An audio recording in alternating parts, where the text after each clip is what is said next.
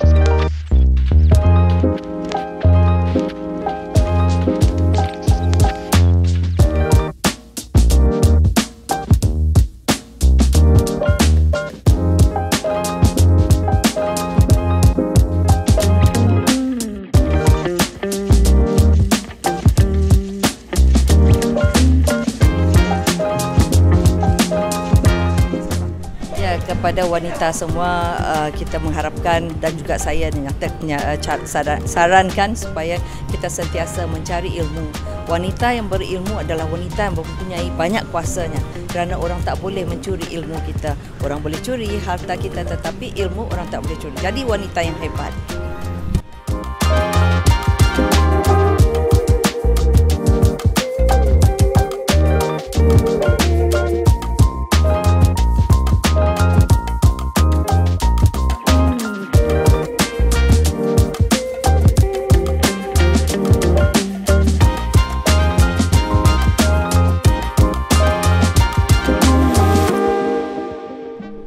Kita masih kurang lagi mereka golongan wanita yang menceburkan diri dalam politik.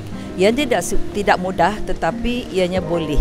Boleh kita lakukan kalau kita uh, apa nama kalau kita rajin dan juga kita berani untuk menengahkan uh, perkara-perkara yang uh, melibatkan negara kita terutama sekali golongan wanita dan juga keluarga.